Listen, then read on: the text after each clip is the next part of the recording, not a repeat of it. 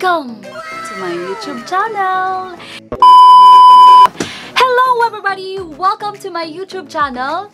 Yes, it's been a while guys nga wala ko naka-upload ani nga channel. Medyo na busy ko. But anyway, karon nga video, um, pakita na ako sa inyo kung unsa akong vlogging equipment. Since namo ko yung mga friends ko nga nag-ask kung unsa daw akong gamit nga camera, editor, kung naba ko external mic. So, it's perfect time na i-vlog na ako siya. And para ma-share po sa inyo ha, anong kaning uh, equipments ang ako ang gipalit. So, yeah, di na ako dugayon pa. Before anything else, di ay... Kung wala pa ka nakapag-subscribe, subscribe ka naman. Sige na. So, sugdan ako sa kong camera, guys. I'm using Canon M50. Yes, daghan kay vloggers nga nag-recommend ani and nindot kay ni siya reviews. Especially kung ikaw um, dili familiar sa DSLR functions, well, kani nga camera kay na siya beginner setting. Which means na siya mang um, guides kung unsay function ani nga settings. Yeah. And kani pud nga camera kay naa siya 1080p with 60 frames per second. So, um, ang outcome yun ani sa iyong video kay grabe ka smooth.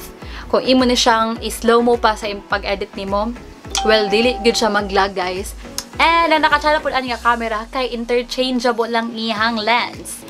Yes, interchangeable kay na uban camera nga dili um, built-in ang iyang lens so dili na ma matanggal-tanggal.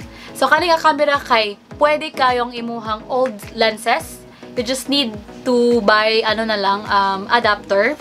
But kung M series ang imuhang imuhang lens, well, din mo kailangan adapter. So, next is naa siya dual pixel autofocus. Yes, dali na kayo siya mag-focus, guys. And, uh, important na siya, especially kung mag-video ka and moving imong subject.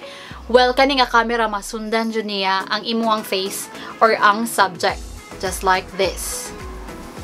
Yes. Oh, bahala, ga-move ko, gakasundan dyan niya ang akong nang... Mm-hmm.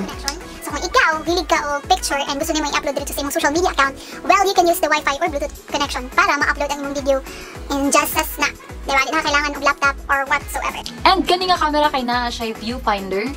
Yes, uh, kung gusto nimo silipon ang imuhang subject kung naka-focus ba, you can use the viewfinder.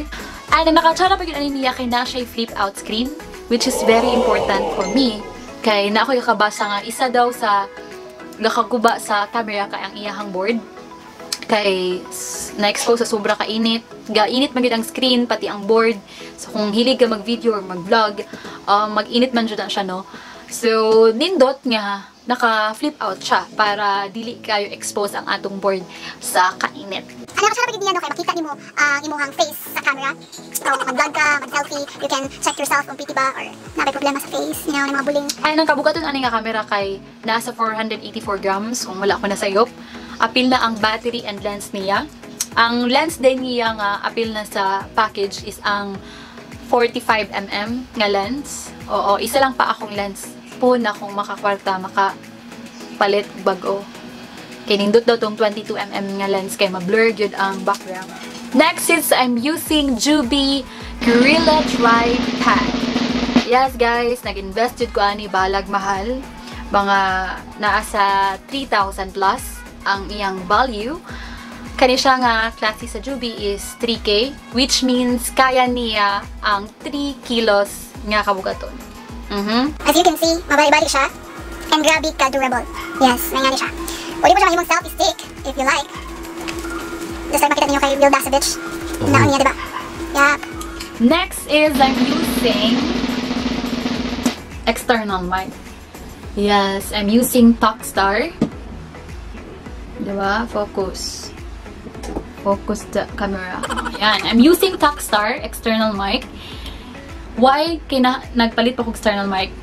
It's because daghan vloggers nga nag-ingon na kung gusto lang kag um, quality audio sa imong vlogs or sa imong video, kay nahanglan di mo og external mic. Yup. And daghan sila mga gina-recommend nga external mic pero katuuban mahal kaayo. So kani siya ang ilahang isa sa gi-recommend labi na kung ikaw gusto o kining barato, so kaning Takstar is the best option. Yes, why? Why kay daghan reviews ani nga gina-compare ni nila nga mic sa Rod Video Mic Video Mic Pro. Oo. And katuba siya is almost 15k biya to siya. And gani, ang worth lang ani is 16 1,600 plus. Pero okay kaayo ang quality sa audio nga gakabuhat ani. So, naa siya tulo ka setting, no? On and off, uh, plus 0 gain or plus 10 decibel, and then equalizer setting, which is important para ma-filter nimo ang mga low cut frequency and ambient noise. So, kung gusto nimo kung siya ng imong audio, you just turn on the plus dB But, ang disadvantage niya, mukusog, mukusog ang ambient noise. So, kung gusto ka nga mawala ang ambient noise, i-zero gain lang nimo siya. Yes. Next is naa siya equalizer setting. Which is very important para uh, magamit nimo siya kung gusto nimo i-flatten or imo i-on ang high pass filter niya. I-on ang iyang high pass filter meaning um, ang high frequency lang ang gaka-absorb sa mic at the same time kinakat niya ang low end frequency which is mo to ang gapasaba o gapapangit sa imong audio. So, just recently lang, nagamit na dahil ko green light. It was given by my bayu. And thankful kay ko kay no kay gamit kay nako siya especially na dili na ako kailangan mag-apas og adlaw kay before man good kailangan mag-vlog ko nga hayag pa so karon um anytime na no so pwede nimo ipatong imong camera dire kaya man niya ako ang camera nga na weight of 484 grams. So wa may problema no?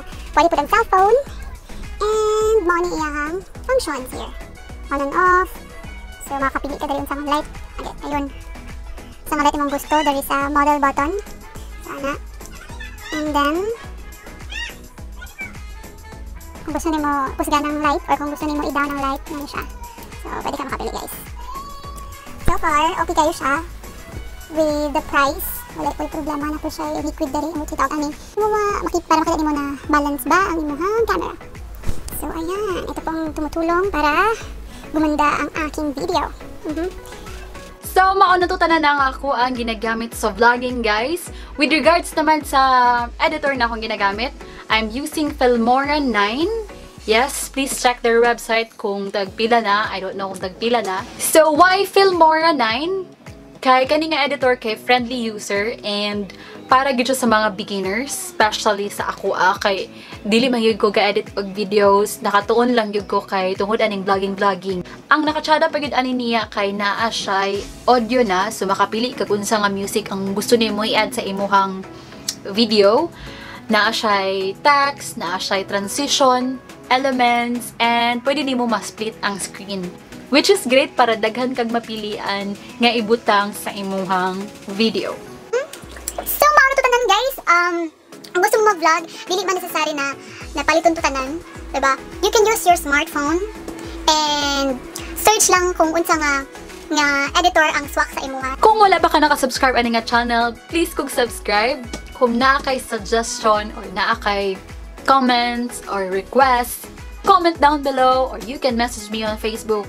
Thank you for watching this video and kung wala pa kita sa Quarantine Chronicles, Jollibee Delivery, voiceover, and TV commercials, please check my channel and watch it. Yeah. Thank you, and I'll see you on the next one. Bye-bye. So, I have a visitor here. It's Bubu. Okay. Ayan, ang ingay ka siya. Ang ingay ka siya. Ay, say hi to camera. Ayan, kailangan makita ka sa camera. Say hi to camera, baby. Baby. Baby, ang ingay nila. Nagbablog ang ate mo. Baha.